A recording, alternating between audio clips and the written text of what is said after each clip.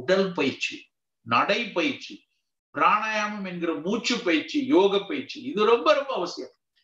ஒரு நாளைக்கு இருபத்தி நாலு மணி நேரம் இருக்கு ஆறு மணி நேரம் தூங்குறோம்னா மீதி இருக்க பதினெட்டு மணி நேரத்துல பதினாலு மணி நேரம் உழைப்போம். மீதி நாலு மணி நேரம் இருக்கேன் அந்த நாலு மணி நேரத்துல ஒரு ஒரு மணி நேரம் நம் உடலுக்காக.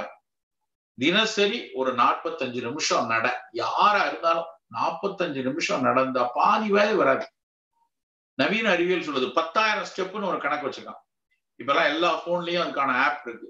அந்த ஆப்ல வந்து நீங்க வந்து டென் தௌசண்ட் ஸ்டெப்ஸ் நடக்கணும் அப்படின்னு போட்டு வச்சிட்டீங்கன்னா அதை இண்டிகேட் பண்ணிட்டே இருக்கும். நான் வந்து காலையில வழக்கமா நான் காலையில நடக்கிற ஆளு. ஒருவேளை காலையில நடக்கும்போது ஒரு வேலை வந்துருச்சுன்னா ஆறாயிரம் ஸ்டெப் தான் நடக்கிறேன்னா எனக்கு அறிவுறுத்திக்கிட்டே இருக்கும் அது. என் போன் ஐயா நீ இன்னும் நாலாயிரம் ஸ்டெப் நடத்தல.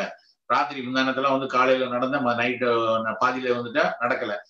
ராத்திரி தூக்கம் வராது. ஐயோ நீங்க நாலாயிரம் ஸ்டெப் நடக்கலையே. ஒன்பது மணிக்கு போய்க்கிறன்னு ஒரு நட நடந்துட்டு வந்து பத்தாயிரம் ஸ்டெப்பை கணக்கு வச்சுக்கிறோம். ஏனென்றால் நமக்கு அந்த காலத்துல எதுவும் எங்க அப்பா வந்து ஒரு அரசு அலுவலர். அவர் ஒரு நாளைக்கு காலையில மூணு கிலோமீட்டர் சைக்கிள்ல போவாரு. திரும்ப மத்தியானம் மூணு கிலோமீட்டர் மீச்சிட்டு வந்து சாப்பிடுவாரு. அப்புறம் ஒரு அரை மணி நேரம் வீட்லயே ஓய்வு எடுப்பாரு. அதுக்கப்புறம் சைக்கிளை மீச்சு வீட்டுக்கு அங்க போவாரு. திரும்ப சாயந்தரம் வருவாரு. இடையில அம்மா காய் வேண்ட சொல்லுவாங்க. இப்படி ஒரு நாளைக்கு இருபது கிலோமீட்டர் ஒரு சைக்கிள்ல போயிட்டே இருந்தாரு. நான் யோசிச்சு பாக்குறேன் அவர் என் வயதுல அவர் அப்படி வேலை செஞ்சாரு. ஆனால் நான் இன்றைக்கு வாசல்ல இறங்கினா கார் அதுல ஏசி நேரா ஆபீஸுக்கு போனா அங்க ஏசி திரும்ப வீட்டுக்கு வந்தா அப்படியே படு படுக்க போனா வீடு ஏசி சோ ஒரு உழைப்பு ஒரு வேர்க்கிற விஷயமே இல்லைங்கிறப்ப உடல் பயிற்சிங்கிறது ரொம்ப அத்தியாவசியமானது.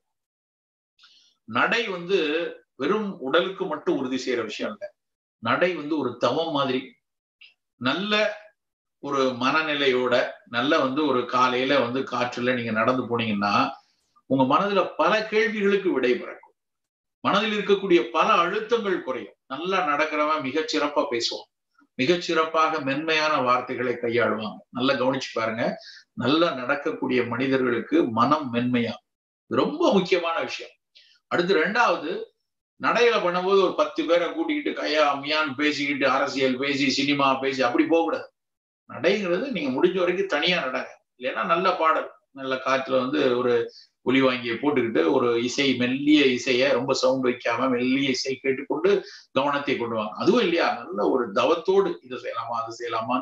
ஒரு சிந்தனையோடு நடங்க. இதுதான் இன்னைக்கு ரொம்ப அவசியமான ஒரு விஷயம். நடைப்பயிற்சி ரொம்ப முக்கியம்.